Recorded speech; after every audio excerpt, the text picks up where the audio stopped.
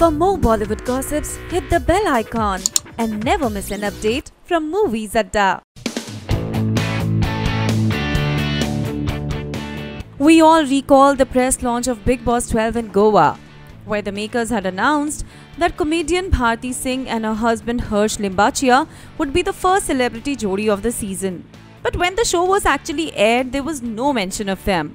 While some fans were left quite disappointed and felt that this was just a publicity stunt by the makers, while the others felt that the two could enter as wildcard contestants later. But now we know that the power couple could not participate in the show as they were down with dengue. While the makers have now found a way to include Bharti Singh in their show. During one of the Weekend Ka Vaar segments, Bharti will be seen hosting the show, where she will claim to be Salman Khan's hidden wife. That's not all. The couple would also be said to have nine children, each for one of the seasons he has hosted. And guess what? One of these kids will be our dear own Sanjay Dutt. Now, hearing this, we are all quite excited and eager to see the antics of Salman and his hidden wife on the Weekend Ka Vaar episode. What about you? Do let us know by commenting in the section below.